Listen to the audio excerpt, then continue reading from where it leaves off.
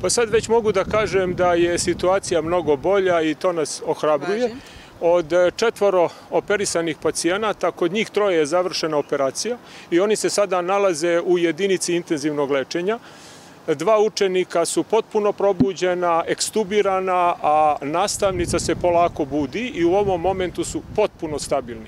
Što se tiče četvrtog pacijenta, to je učenik koji je pri samom prijemu bio e, dosta lošeg opšteg stanja, radi se o kompleksnim povredama, prostelnim povredama grudnog koša, vrata i kičme, tako da osim operativnog zahvata traženo je i dodatna diagnostika koja se sad trenutno sprovodi.